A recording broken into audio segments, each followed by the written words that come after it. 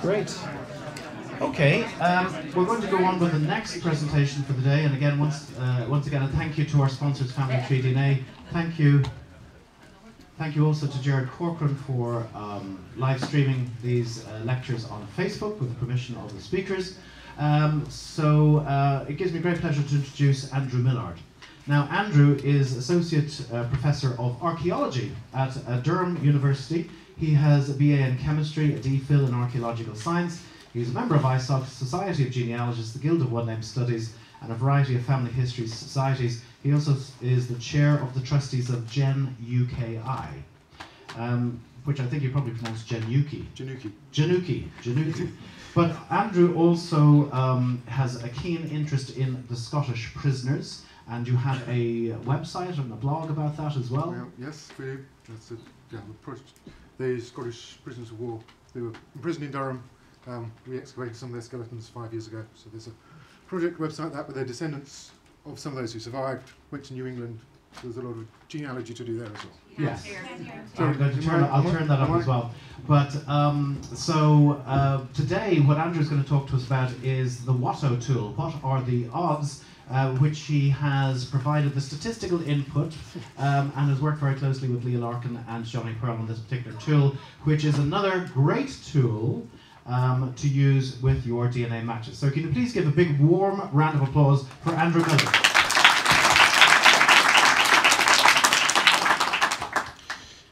Okay, so I start by saying thank you to Leah and to Johnny for uh, their contribution. Leah, Leah came up with the idea.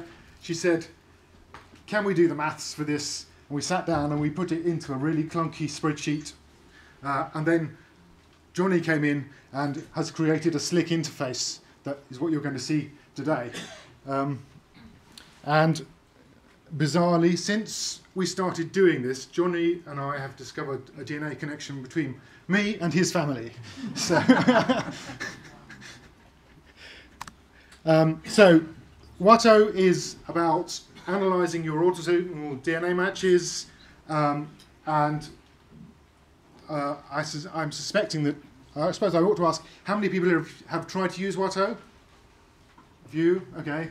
Um, so the idea is mostly to help you fit in those matches that have no trees. Um, so it's really useful if you're working with adoptees or unknown parentage of some sort, or where you you've done the tests and you've got an NPE, and then but you don't know. Of course, the unknown parent is the person you want to locate. Uh, so it's based on autosomal DNA. Um, and I probably don't need to tell most of you we have the 22 autosomes plus the sex chromosomes. We're not using the sex chromosomes here. You get one copy of each from your parents, um, and they've got one copy of each from their parents, and so on, uh, going back. Um, and that means that you can say what the average sharing is expected to be with various different relationships. Um, so we ex- you expect, uh, should have a pointer, shouldn't I? Um, you should expect to share, well, you will share half of your DNA with your mother and father. You will share approximately half of it with a sibling.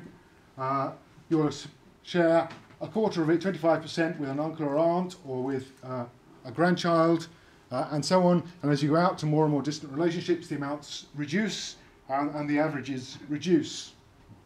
Um, but of course, as we all know when we look at those third, fourth, fifth cousins uh, in our analyses, the amounts are very variable and they get relatively more and more variable uh, as you go further and further away.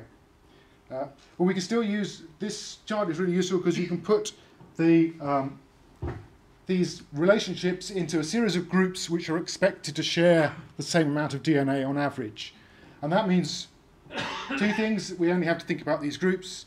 If you've got two relationships in the same group, you're never going to be able to tell them apart on the amount of DNA because the sharing is expected to be the same. So the amount you expect to share, say, with a first cousin twice removed, uh, will be the same as with a second cousin. Uh, and if those are the two relationships you're trying to distinguish between, you can't distinguish between them by the amount of shared DNA. You have to bring in other things. Um, Of course, the companies will give you ranges. So Ancestry uh, published this chart showing their, if you share this amount of DNA, they predict these levels of relationship. Um, and, and, it's an interesting chart to look at because you'll see that uh, there are gaps. So what happens if you form between 620 and 680 centimorgans? I have no idea. Ancestry seem to be not predicting what the relationship is according to this table, but they, they will predict something. Um, hmm? First cousin First cousin most removed, maybe. but I've never seen that on Ancestry. I've never seen any removed on an Ancestry, and most of the companies will stick with simple cousin relationships. They won't talk about half relationships, and they won't talk about removed relationships, though I think you'll see those on MyHeritage. Um, so the companies tried and give you these predictions, um, but we all know that when we start reconstructing the genealogies, we quite often find that the reality is different from the prediction. Particularly as, as you go to more distant relationships, it's usually you can usually get this immediate family, uh, grandparents type relationships uh, uh, reasonably well. Um, so, because of this problem, uh, Blaine Bettinger came up with the shared CM project, where so this is crowdsourcing data on known relationships, what the companies say the shared centimorgans are, um, and this has gone through several iterations, and now you can see that actually these ranges are wider. So um, that these ranges are wider than the ones that Ancestry published, they're wider than the ones that Family Tree DNA will use. Um, and if you compare a match to the ranges on here, you'll see a greater number of possible relationships than you're getting simply out of the, the company estimates. So that's one way that you can use your sharing with an individual to get a better or a more realistic estimate of the possible relationships a wider range than the, any of the companies are going to give you. Um, but it, it is limited because it's crowdsourced data. So we know, although Blaine has done some filtering, we know that there are probably misstated relationships in there. There are, when there are unknown double relationships, then the amount of DNA will be overestimated for the relationship that has been declared. Um, and there's also a bias in that very, oops, very few of us have data on the very distant relationships, which so they're, they're pushed out here on the side of the chart because there's very little data. Uh, but even if I asked you what you share with your fourth cousins, I imagine that most of the fourth cousins you know about the sharing with, you found them through DNA rather than the other way round.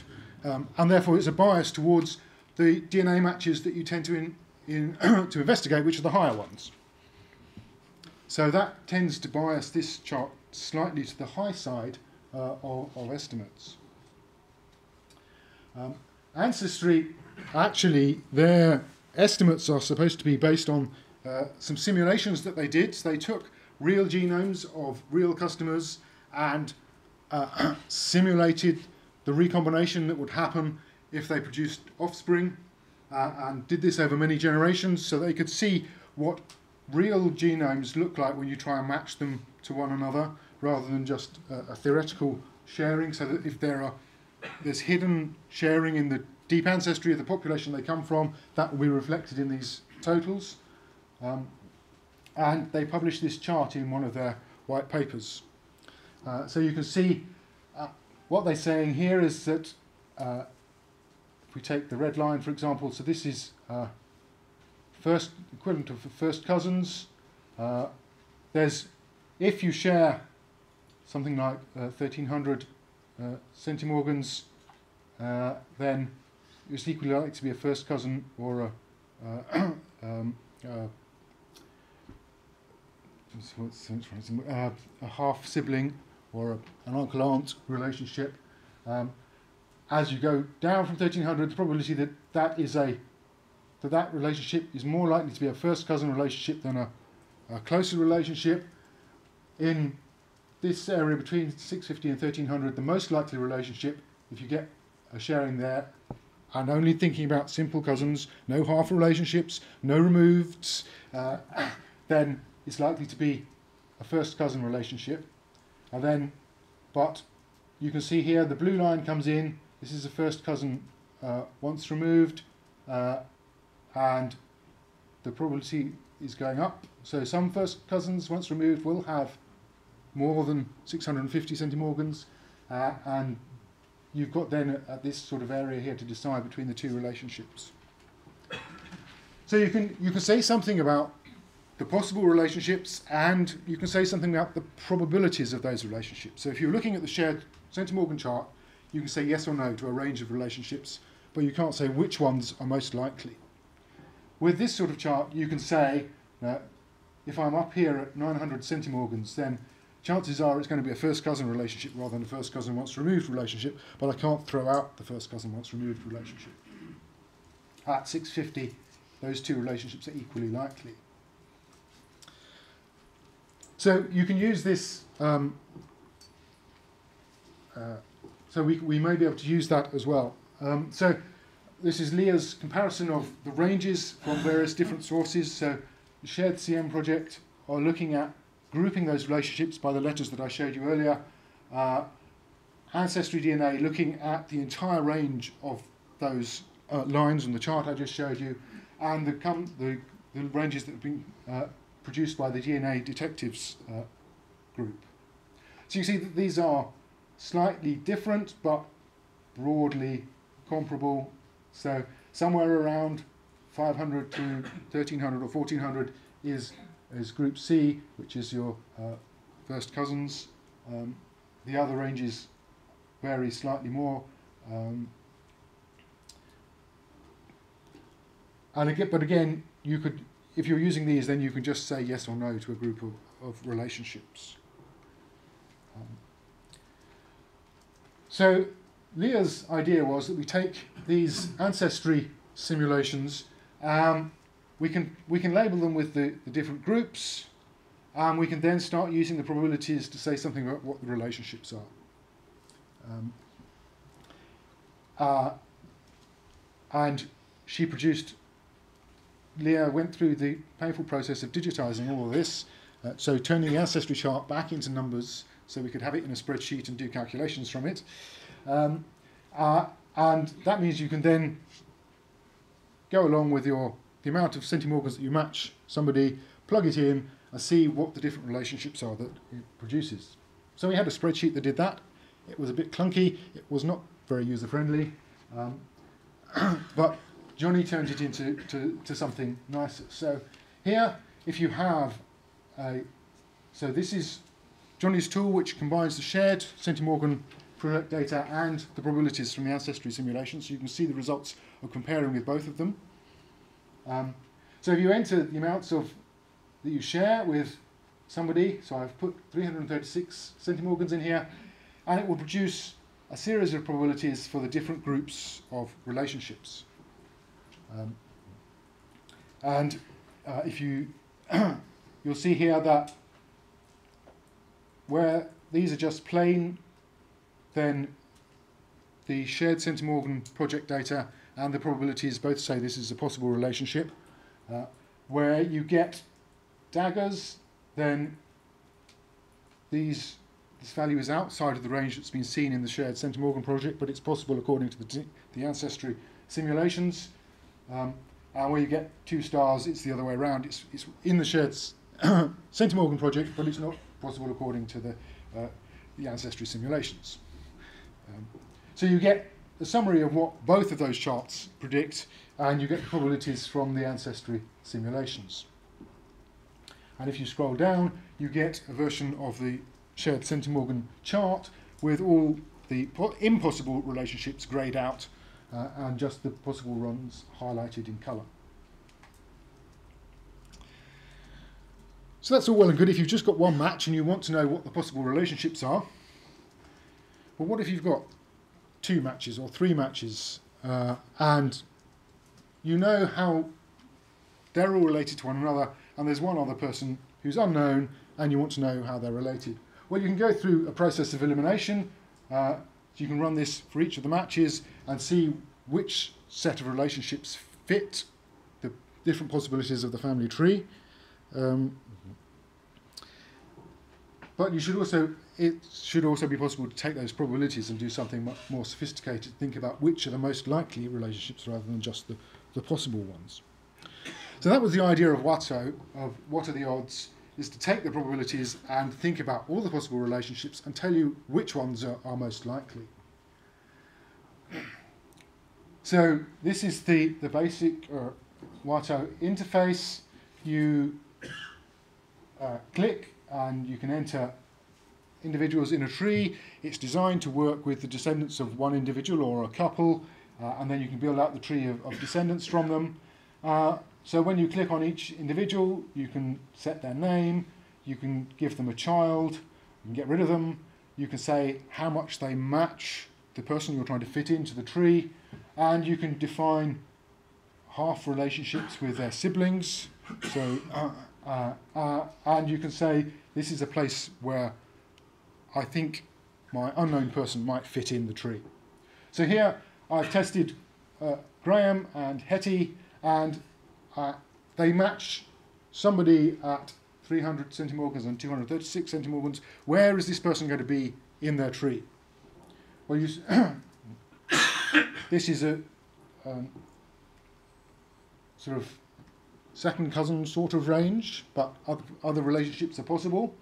Uh, and you can see here in on this, this side of the tree, there are a series of known descendants of and relations of, of uh, so descendants of their, their ancestors uh, who where this person might fit in the tree. And we might ask, is Ken the father of our unknown person or is Jack the father of our unknown person? Uh, what the tool does is it takes the probability, it looks at the shared centimorgans, it looks at the relationship here. So Hypothesis 1 would be a second cousin once removed to both of these people. Hypothesis 2 would be that a second cousin to both of these people. And if we look at the amount that they're sharing, then uh, what we find is that the second cousin once removed relationship is 10 times less likely than the second cousin relationship. Now that's a very simple example, just two matches and two possible places in the tree. You can get build it up to things which are much more complicated. Um, so you can add other hypotheses. Um, so here, extending that tree, what if Caroline and David had a sibling that we don't know about, and if that sibling had descendants? Um, would that be a better place to fit this person in the tree? Uh, should I be going back to do some more genealogical research to see if this is a, a, a real possibility? Um, so you can see here that we get, again, the relative scores for the different hypotheses. That our match is a sibling to Caroline and David, David is not possible on the shared amount of DNA that is shared. So we get, a score of zero and a, a red marker at that position in the tree. The other two possibilities are, are possible. We get a green uh, and a score, but you can see that they're, the, these are equally likely as the other the two that we've got already. Um, because we really haven't got very much information here with just two uh, matches at that sort of distance. So this is another second cousin. Well, you could, you know, if one second cousin is possible, any second cousin is possible. Um, we can't tell those relationship. We can't tell one second cousin relationship from another simply on the DNA. We would need some other genealogical information. A first cousin uh, once removed relationship uh, has about the same probability as a second cousin once removed relationship, so they only they're ten times less likely than the second cousin relationships. So if we got to that sort of stage with our tool, then what we actually need is more data. Uh, we haven't really got anywhere to um, say anything useful.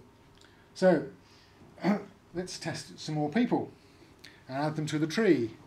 Uh, so, if we find Nick and he's a great grandson of, of, David, then he's going to be more closely related to these two possible places in the tree than uh, the people we've tested already, and that helps us to refine our hypotheses. So you can see that hypothesis 2 becomes impossible if Nick only shares 53 centimorgans with our unknown person. Uh, 53 is too little uh, for him to simply be a first cousin once removed. So that relationship just is, is eliminated. You can see that this is still possible for him to be a second cousin, and for these, and for Graham and Hetty to be second cousins once removed, that all works on the, but it's uh, unlikely. That there's an unknown uh, sibling with a child who is our, our mystery match is not possible, but it's possible there is a, a grandchild. Um, now you have to build your trees, you have to think about all the possibilities of different places to put the person in the tree, things that are possible genealogically. I haven't given you any, any dates here, um, but if you know the ages of some of these people, you can eliminate them as potential parents or grandparents. Um, and there may be other reasons to eliminate them as well if they're living on the other side of the world. Um, so it's not just, you haven't just got to think about the DNA, you've got to think about what's the genealogy, what are the possibilities given the genealogical information as well as the genetic information. Okay, so the hypotheses here, uh, nothing I've shown you gets above, we get a score of 1, which is always the worst hypothesis that is possible, a score of 0 for impossible hypotheses, and here only 10 for the next hypotheses. um, if you scroll down, you'll see more detail about these hypotheses. Um, so a lot of people look at this uh, and then they come along to the Facebook group, which is the support group, and post something saying, "What's going on here? I don't understand." There's, uh, they haven't scrolled down. so, so don't forget to scroll down. There is more information about how the calculations have been done and what they mean. So uh, here are our five hypotheses. They're ranked in the order. Well, they're ranked in the the green ones are ranked in their order of likelihood. So the best one is at the top. Um, and a description here of something about the, the statistical probabilities. So the best thing we have here is scoring 10. It's 10 times more likely than the next one, um, which is more likely but not really strong evidence. So it says it, it's most likely but not significantly more likely than the next one. This one is possible, these ones are not statistically possible. So we haven't really come to a conclusion with this amount of, of data. Uh, if you scroll down again, there's more information. And that is showing you all the collated match data and it shows you some, so your hypotheses across the top of the table, the matches down the side, uh, the probabilities drawn from that ancestry chart uh, are given for, and the relationship that is, has been inferred from the tree that you put in. And then highlighted in red, uh, if there's zero, that tells you that this piece of information is actually ruling out that hypothesis, that relationship, and therefore that hypothesis. Um, and then you get the actual odds of the hypotheses compared with the, the worst possible one. So it's all relative. It all depends on which hypotheses you put in. If you don't put in uh, something that's possible, it won't do any calculations for it. Because it depends on what you've put in. So you have to be putting in the hypotheses, you have to be thinking about what's possible, uh, what might, might be possible. Um, so if you go on and do more research and more testing of relatives, so maybe we do find this uh, third sibling and we find his descendants, uh, and we test two of them, and suddenly we're in the realm of bigger matches, closer matches. Um, uh, so now hypothesis one isn't possible anymore, and hypothesis two is still ruled out. Um, the possibility of a grandchild of, of Nathan is still there, and I, have left out some of the ones that I had before. Uh, but now the chances are that with these higher scores, our unknown person should be fitting into this branch of the tree rather than the, the two that we had already. Um, so you can do you can do this as an iterative process. You can add as you do more genealogical research, add people and possibilities, um, and as you do more genetic testing, you can add people uh, into the tree. So now you see we have a score of 1 for our worst hypothesis and we have a score of 253 for the best one. Uh, and the question is then how to interpret those numbers. Um, so what I recommend as a, a, baseline for interpreting these is this score system that was derived by Kass and Raftery. Um, so if you get a score of 1 to 3, they say that's not worth more than a bare mention. It's some sort of weak evidence that these both these are both possible and one of them is slightly more likely than the other, but really you don't want to worry about it. 3 to 20 is positive evidence. That's probably where you want to focus your research efforts on clarifying that line, finding more testers that are closer in that line. 20 to 150 is strong, and over 150 is very strong evidence. So really, you want to be over 20 and really, uh, and, uh, and ideally you'll be over 150 in your score. Um, so although these, this is a useful scale for thinking about how to interpret the scores, um, the odds ratios, uh, we do still remind people that WATO is in beta testing, and you'll have seen that on every screen that I've put up. There's a little slash in the top corner that says beta to remind you that this isn't a, a fully functional tested tool, um, and we're still learning about whether it, it whether these uh, odds ratios are working exactly as we think they are. We've had a few cases where we know what the relationship is, and it doesn't. It strongly predicts something else. Um, so it's not entirely, uh, you can't rely on it entirely, and what you should really be using it for is a pointer to where to do more research and more testing. Um, because once you've identified which branch somebody is, it, is likely to be in, test somebody as close to them as, as to that predicted position, position as possible. Because the closest matches are the ones where we can be most certain about what the relationship is. Um, if you get uh, a match at 1400 centimorgans, then you should be thinking about siblings. Um, and that's much more useful information than a first cousin match or a second cousin match, and if you want to know exactly where somebody fits in a tree.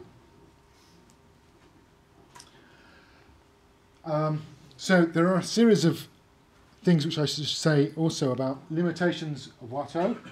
Um, first of all, we assume that the probabilities for each relationship are independent of one another and there's no crossover between relationships. That works as an approximation when the relationships, when two of the matches are not very closely related. So if their first cousins are more distant, then that will work. If you have a series of siblings that you've tested and they're matching your unknown person, then that will tend to bias the scores that you get out of WATO um, and you need to be a bit more careful in interpreting them. Um, and similarly, if you've tested a group of people who are aunts and uh, uh, aunts and nephews, uh, and they're matching, then those people who are closer than first cousins in a group, you have to think carefully about whether the, the tool, the numbers you're getting out of the tool are actually to be interpreted in the same way. We don't have probabilities to handle things that people are really interested in so people, we don't have any data on double cousin relationships. Now the ancestry simulations that we started with are simple about simple cousins. We don't have data on double cousins, uh, although there are ways for where the double cousin relationship um, is some double cousin relationships could be could be factored in. If there are things like three quarter siblings where there's one father and two mothers who are sisters, um, then certainly we're not handling that at all in this sort of tool. We can't have that sort of tree. Um, and we know that it probably doesn't work for endogamous populations. Ancestry simulated this with people that they were pretty sure were unrelated in terms of DNA matching. Um, if you're coming from an endogamous population, then there will be people who are very distant and unrelated in those sort of terms, in their seventh, eighth cousins, uh, but they're sharing much more DNA than, than you would expect. So it doesn't work in those situations. The other caveat is that Ancestry didn't simulate what happens below 40 centimorgans, or at least they didn't report it. So uh, we've extrapolated the curves to use to, to allow things below 40 centimorgans to be used, but that is an extrapolation, uh, a really rough approximation, and so we recommend that if you're using WATO, at least half of the matches in there should be over 40. Um, so we're not going to be able to make, and I don't think even if we had the simulations, if most of your matches are below 40 centimorgans, we're not going to be able to tell apart you know, the fifth cousins from the sixth cousins on this sort of, of tool.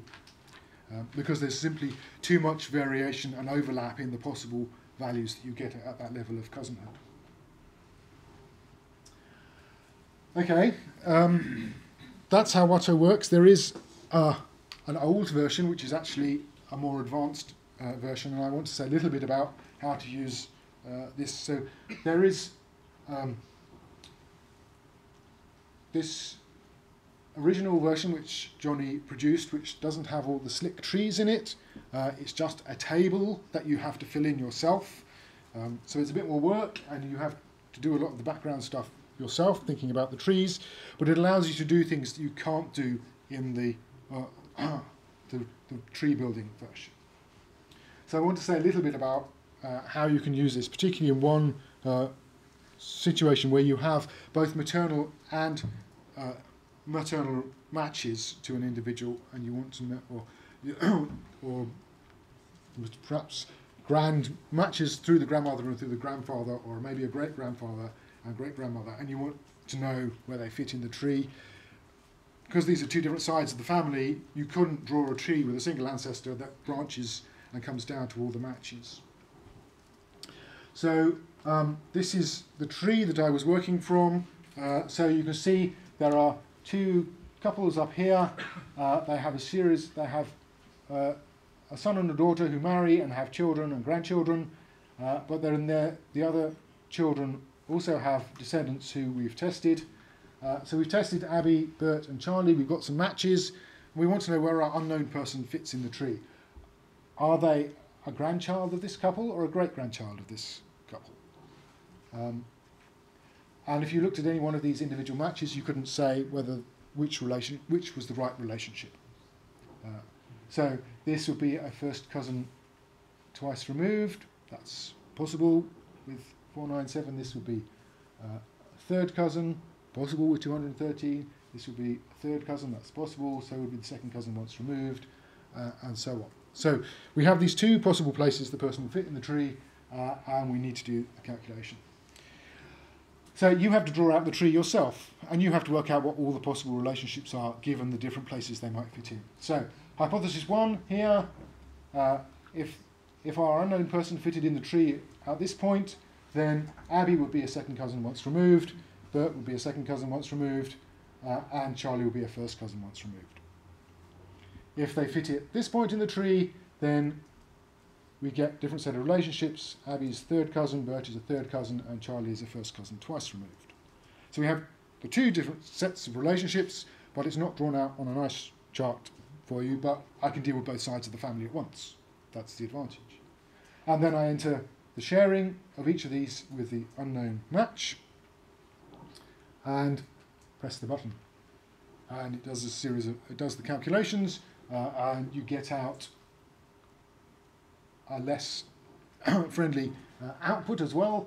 But you can see here, hypothesis one, uh, that it's a grandchild of that couple, uh, odds of 479 compared with one for the great grandchild. Now, if we'd just been on an eliminating relationships uh, uh, thing, that wouldn't have, we couldn't have eliminated either of those relationships. But this does suggest that the grandchild rather than the great grandchild hypothesis is much more likely. Um, it's very strong evidence that that is the right relationship, uh, and therefore we would go back and look at the genealogy, look at who we could test, if there's anyone to test, and confirm that with a, a closer relation. Um, so that's the advanced version of the tool. You can draw as complicated a tree as you like.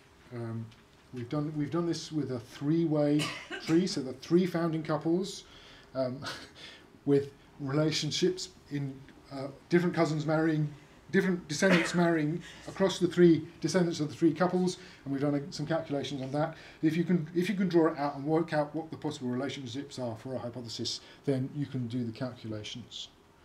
Um, so where might this go in the future? Well, it's in beta still at the moment, so we want to be confirming what we've got and, and verifying that. Um, we are working on more simulations, uh, simulations of our own, so we're not dependent on what Ancestry did, some of which is a bit black box and we don't know what they did. Um, that would allow us to go below 40 centimorgans. I don't know if it's going to help very much, but we can, we can certainly produce more reliable numbers below 40 centimorgans.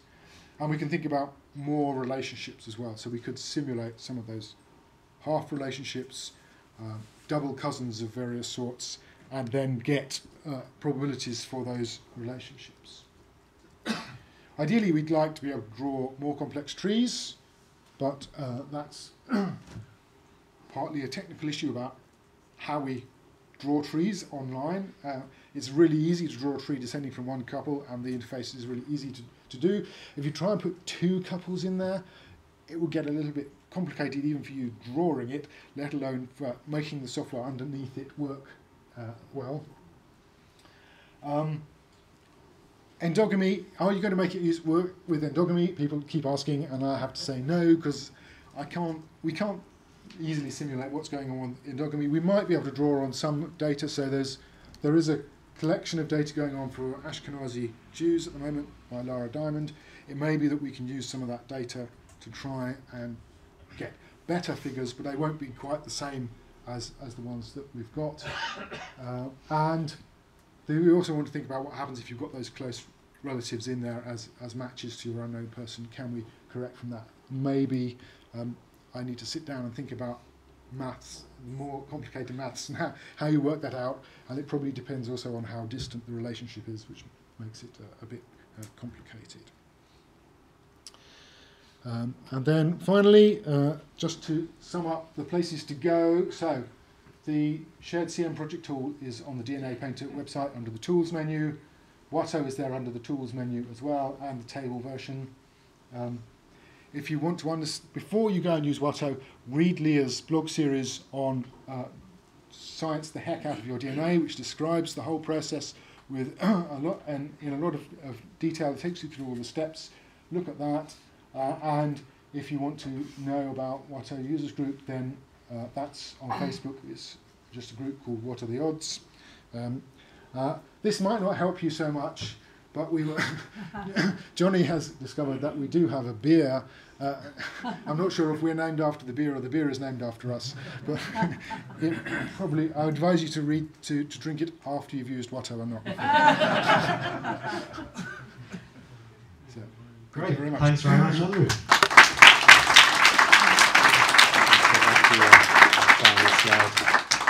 Um, yes, let's just go back there. Uh, this tool is going to work better in my father than in me. Correct? In your father, then in, Well, in the sense that just on the previous slide you have the fact that it's simulations below 40, 40 centimorgans yes. is, is kind of the limit, but my dad will have double the amount of DNA on my father's side, obviously, than I do. Yes. So, in, and it, in that sense, it works better for older people who have tested, who were born maybe in 1920 or 1930. Is that a general? No, it's a generalization, but it's. Um, Um, Yeah, I guess it's as with all of DNA testing. If you've got the older generation, you get better data. You don't. The other thing I, I forgot to mention is that if you have a parent, then the child's data is no use at all. So just as as, as Martin was saying earlier, if you've got the parent and you're wanting to reconstruct uh, uh, a, a Lazarus genome, then the child got all their DNA from the parent. So there's no information, there's no new information in the child's DNA. And if you put them in in WATO, it will just ignore them. If you have a matched a, parent and a child, it will ignore the child. Um, Um, the other thing, of course, is that uh, more complex trees. It, it would be great if you could actually, say for adoptees, if you have an adoptees match and you get a matrix of how each of the matches match each other, put that into the tool and it could generate a best fit tree for your adoptee, and you'll be able to see which where, where they actually sit in the over in relation to all of their matches. Is that on the way? Um, well, there are. You need lots of close matches in that matrix. If you haven't got any genealogical information at all, then you've got to try and recreate the whole tree from the, the matrix of matches. And that means you need to have a good group of close matches where you can reconstruct the small segment of the tree and say, here are some siblings, here are no, some aunts and nephews, and I can make this bit of the tree. And then I can say, here's an aunt, here's a nephew, their match to this person indicates that they are first cousin to the aunt and first cousin wants to move to the nephew, uh, and I can slot them in because there's only one place they'll go, and then build out the tree like that. So you need you need some really close matches to do that. Okay. But it's I on the know, way. That's good. Well, and the med- medics already have tools that do that. Yes. Um, Okay. Um, questions for Jonny. Now I'm just a bit wary of the the, the microphones here because I, sorry sorry questions for for will answer the Andrew. question. Um, and I see one at the back. I'm going to turn this down slightly because it may be a little bit on the loud side. Um, and I'll turn you down a little bit as well. Um, so I'm coming down to the back gingerly. I hope we don't get any screams from the uh, from the loudspeakers. Okay, question here. Thanks, Andrew. I think it is potentially an amazing tool, but you showed at the outset, or pretty early on, a series of distributions showing the uh, series of um, normal or Gaussian distributions for the expected uh, spread Yes. of DNA between a set. Yeah, that one.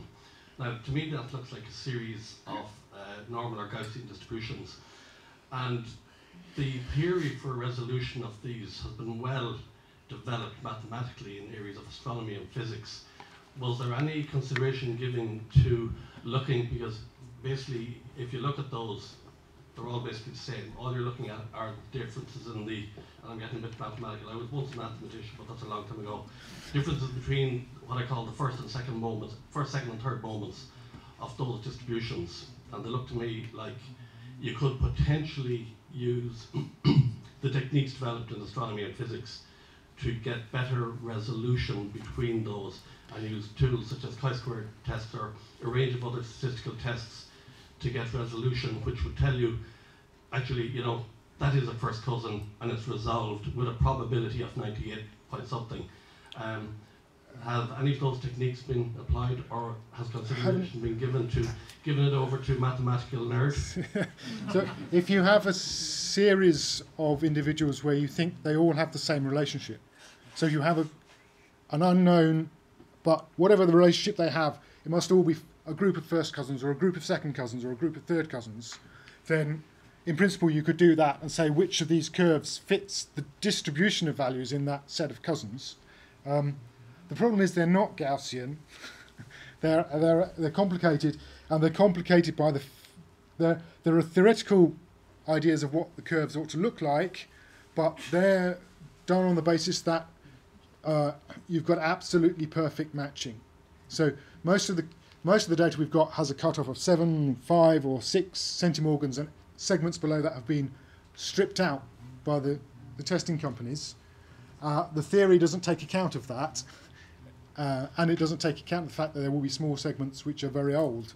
So it would work for for these um, distributions that don't come down to zero. So uh, probably your second cousins you'll be okay, but once you get to second cousins once removed, there should be some zeros in there, in that distribution, which you're not going to see, uh, not going to be uh, covered by the theoretical curves, and that's where I actually have to simulate what the matching companies are doing uh, because you can simulate the, you can write down the equations for the inheritance but that don't take account of that stripping out those very low matches. Um, so you actually then have to simulate what they're doing uh, uh, which is adds a layer of complication. But in principle yes if you've got a group of matches that have the same level of cousinhood you could use that sort of approach. I'm not sure if it because we're using the full probability distribution I'm not sure that it gives you any more information but I will think about it. Great. Thanks very much. Uh, other questions? Yeah, we have one here from Svetlana. Thank you very much, um, Andrew and Jonny and Leah. Very interesting uh, tool, and it's probably one of my favorite. Uh, I have, I have, I'm using it a lot. So I have a question, a more kind of observation as well. Uh, when you're working through example, you're showing different hypotheses and how the hypotheses change as you're adding um, new people. And one thing I find is people struggle sometimes is coming up with hypotheses. So have you considered i- including suggestions as possible hypotheses? So for example, if somebody matches it at 500 centimorgans, there's only certain number of limited relationship you can have. So have you considered uh, making suggestions in terms of where the hypothesis could be? Yes, we have. We've Jonny and I have been talking about how to do that. Part of the problem is um, that if you say you've got 500 centimorgans and a, uh, a second cousin relationship is possible, there are many different places you can put a second cousin in the tree. So you can end up with a very large number of hypotheses if you're not careful, um, all of which are equivalent to one another statistically. So it's uh, but we need to think about how to do that. We can we can certainly generate with the closer the matches you've got, the easier it is to do that sort of thing. If you had you know, a, a 60 centimorgan match as your best one, then there are so many places it could fit in the tree that it probably wouldn't be worth doing. We have a question here from Catherine and from Paddy. Catherine, come forward just get, to get away from the speaker um, in case we get screamed at by the speaker. Thank you, Andrew and Maurice. Um, on the future possibilities slide, you have down uh, more simulations and the below 40 cm and more relationships. To be able to do that, what do you need? Do you need people to join the shared CM project? Where do you, where do you get your da- data from? It's I'm, just- I'm, I'm going to give you that actually because is, is this running out? um, it is going to be easier for you to speak directly into that. Okay, so um, we don't we just like ancestry, we don't need real data. They simulated. It was all done by simulations in a computer. I can simulate what the sharing ought to be given the process of, of recombination. So, uh, and then simulate the stripping out of small segments by the companies uh, uh, and uh, predict what the sharing will be for given relationships. So. We don't need more more data to do that. And in fact, I, more data in the shared centimorgan project will probably refine that, but it won't get over the biases that I talked about, which tend to make it to higher values than the if you were working the other way around and testing all of your fourth cousins. What distribution would you get? Okay. Uh, no, no, no, Paddy? you can hold on to that. I'll give Paddy this. And I'll come around here behind the mic so that I don't cause chaos.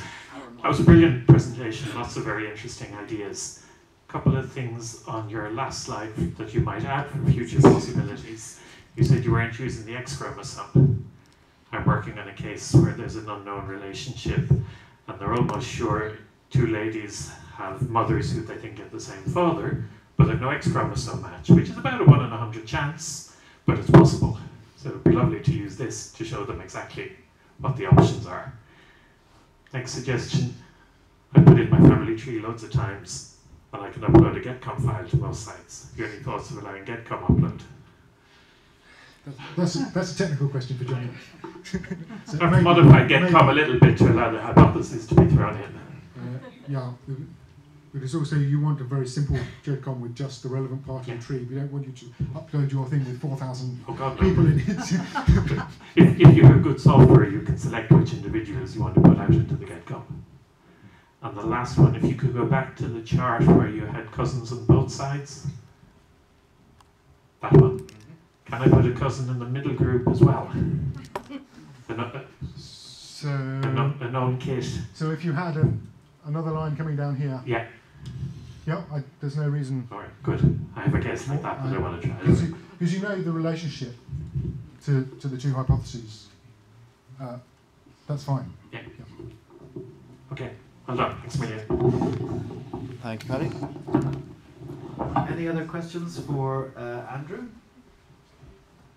Great. Um, there was one question that I had, and that was in relation to um, one of the earlier charts, and it was possibly. Oh, let's see now. Ah, yes, this is what I wanted to talk about. Um, the groups here. This is. I'm not sure which group it is, but you can see that the first group has got a range of different uh, uh, possibilities. But if you are 90 years old, the chances that it's your great great aunt or uncle is probably fairly remote. So, could you actually um, take uh, the number of people who have reported of the variety of different relationships in the shared Centimorgan tool, and I know it's biased, but could you take um, the percentages of uh, proportion of first cousin, second cousin, second cousin once removed, and so on, and adjust it for age, so that you could plug your age into this tool, and then it would say, okay, you've got a 48.606% chance that it's in this group here, but of this group, it's highly or it's more likely that it's going to be a first cousin once removed rather than a great great aunt or uncle. Some of that is, it's the probability of a relationship, just given the ages, is probably quite difficult to do um, because uh, apart from the very close relationships where you can rule out some things and say no, no this person is 10 years younger than me, they can't be my son, um, that then working out what the probabilities are, I mean how many, you'd have to know, you'd have to know about the population the individual comes from and you know, what sort of ages they typically get married and have children and what the spread of those those things are which gets a bit complicated and I'd rather leave it to you to look at the tree and say this hypothesis is not possible this is a genealogical question rather than a genetic question Sure, sure. Great. Great, okay, well, um, listen, thanks very much, Andrew, for a fantastic presentation. Congratulations to Jonny, Andrew, and Leah for producing a wonderful tool, which has again moved forward the whole field of genetic genealogy just that little bit more and has given us lots to think about. Andrew Millard, thank you very, very much.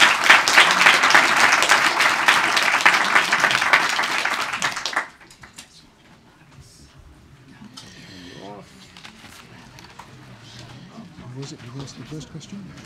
Sorry, what Who asked the, who asked the first question? The back? Um, I'm not sure, actually. Right.